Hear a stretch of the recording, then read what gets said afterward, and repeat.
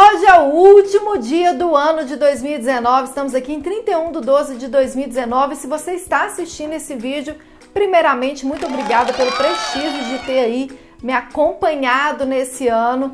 Parabéns por estar buscando conhecimento, por ter passado esse ano aí buscando conhecimento de tributação. tributação. Se você está me conhecendo agora, espero te ver junto aí no, no ano de 2020 para que você fique fera nessa parte tributária e ela não atrapalhe os seus investimentos em bolsa.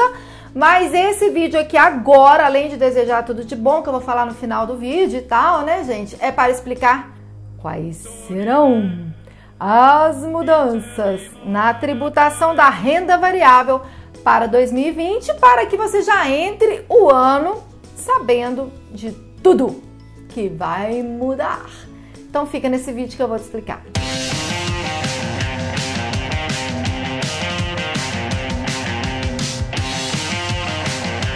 É, nossa, que gralha!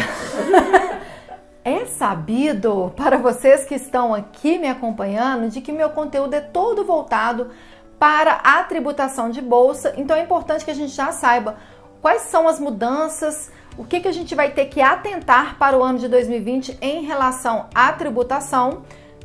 Mas antes, eu queria ver com você uma outra coisa. Fala sério, 2019 foi bom, né, gente? Caramba, para quem está no mercado de renda variável, para quem tem ações, fundos de investimento imobiliário, parece que foi um ano bom. Vejo o pessoal printando aí rentabilidade da carteira 40%, 70%, umas coisas de louco. Gente, não se esqueçam que foi um ano de bull market, né? Quando que é quando o urso, não, pera que é quando o touro levanta o mercado, né? E 2020 pode não ser o ano desse animal, pode ser o do urso que eu falei, que é o bear market, né? Mas enfim, como foi um ano bom, pô, vamos comemorar, né? Vamos fazer a retrospectiva. O que que fez 2019 então ser um ano bom para nós investidores? Agora eu tô falando aqui com você, pegando na sua mão, eu como investidora também, que eu invisto tem 11 anos. O que que fez, o que que se tornou esse ano um ano tão bom além da gente ter tido aí a, a, queda da taxa Selic, que pode ter influenciado aí no mercado, para a gente poder ter uma volatilidade mais positiva na renda variável, uma grande entrada de números de investidores, né? Aquela aguinha com limão de manhã que você tomou todos os dias para você já começar o dia saudável para fazer todos os aportes dos que você deveria fazer no mês regularmente, reinvestir todos os dividendos, tirar o cabelo do microfone em quase todos os vídeos para que os vídeos fiquem perfeitos. Ah, você diversificou a sua carteira, né? Por isso que você está com essa rentabilidade em 2019. Não pagou nenhuma DAF atrasada caso você tenha vendido com lucro tributável. Parabéns! Você também compensou todos os prejuízos, não comeu mosca de pagar a DAF a maior. Você escolheu seus ativos a partir de análises profundas, conscientes, é, preferencialmente por uma casa de análise, né? A minha Suno, eu fiz todas as minhas escolhas pela minha casa de análise. Por que mais que 2019 foi bom? Tem uma cola ali atrás. Estou lendo a cola. Porque eu não ia lembrar de todos os pontos, gente. Hum, hum, hum. Ah, você poupou 20 ou mais por cento da sua renda mensal para você investir na bolsa, sua reserva de emergência está lá certinha, seis meses do meu custo de vida ou mais. Você aproveitou a isenção dos 20 mil, que eu explico aqui direto no canal. Se você não sabe o que é essa isenção dos 20 mil, link está aqui na descrição. Hum, o que mais que você fez para esse ano ter sido tão bom, hein? Você foi uma boa pessoa, né? Porque quando a gente é uma boa pessoa, o universo vai conspirando a favor, não só como investidor. Ah, você já está com todos os seus cálculos prontos de 2019 para que você na declaração em março e abril nem precise descabelar, é só ir lá e transcrever. Não é? Então, parabéns para nós que fomos esses investidores. Que mentira! ah, para, né, gente? Existe perfeição? Não existe perfeição. Talvez seria perfeito, posso até ter esquecido algum ponto se a gente tivesse feito isso tudo. E eu sei que a grande maioria de vocês não fez isso tudo, o que nos transformaria no investidor perfeito. Comenta aqui para mim, você foi um investidor perfeito em 2019 Ou você quer ser em 2020 um investidor melhor do que em 2019. Então, se você pagou alguma DARF em atraso e teve alguns juros e multa, se você um, comprou algum ativo errado, porque foi na conversa de bar, todos aqueles pontos que eu falei ali, se você escorregou em algum deles, tá tudo bem.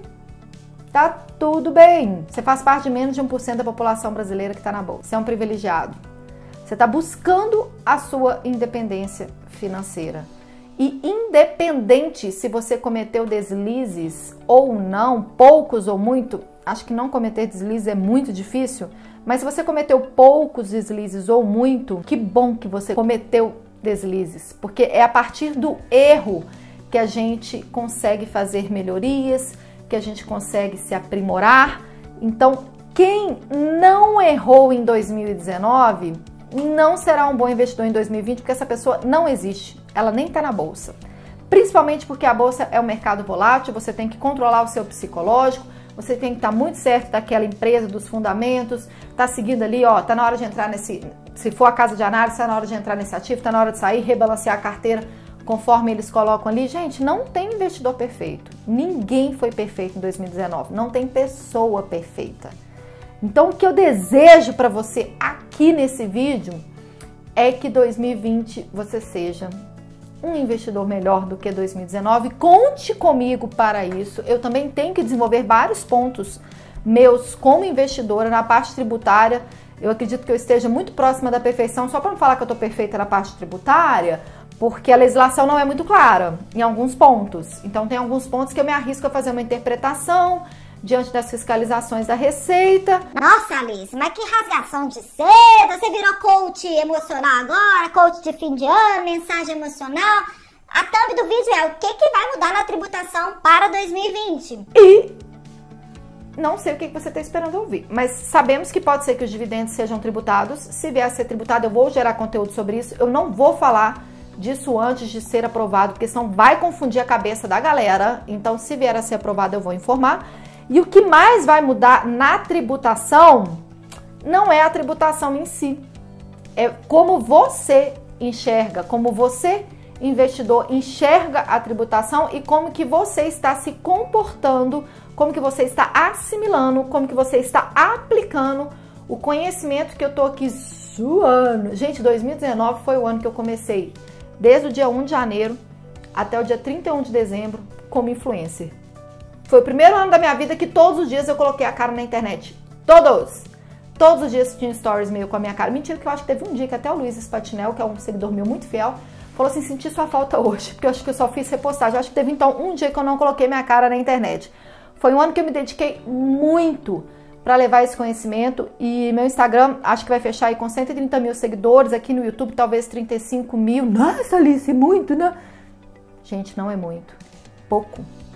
Tem um monte de investidor que está perdido. Tem um monte de gente que está perdendo as oportunidades da bolsa porque tem medo dessa parte tributária. Então, se você puder espalhar esse conteúdo, espalhar esse vídeo, meu Instagram, todas as minhas outras redes sociais para os seus grupos aí de WhatsApp, Telegram, de investidores, é, o grupo da família que tem ali investidores, onde você vê que tem investidor de bolsa, se você puder mencionar, ó, a contadora da bolsa resolve essa parte tributária.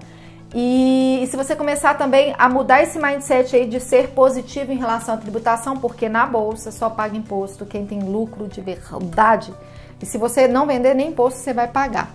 Então eu acho que é isso. É 2020 a gente ser mais positivo diante das obrigações que a vida impõe, né, gente? Se você tem que arrumar a casa, vamos arrumar a casa, colocar uma música sertaneja lá em cima, no alto, e ó, passar a vassoura dançando. Até sertanejo, tá, gente? Eu ia colocar um, um rock, nem sei mais o que, eu gosto. Depois que eu virei mãe, eu não sei qual é meu gosto musical, gente. Tô perdido. Quem sabe 2020 eu, eu me redescubro.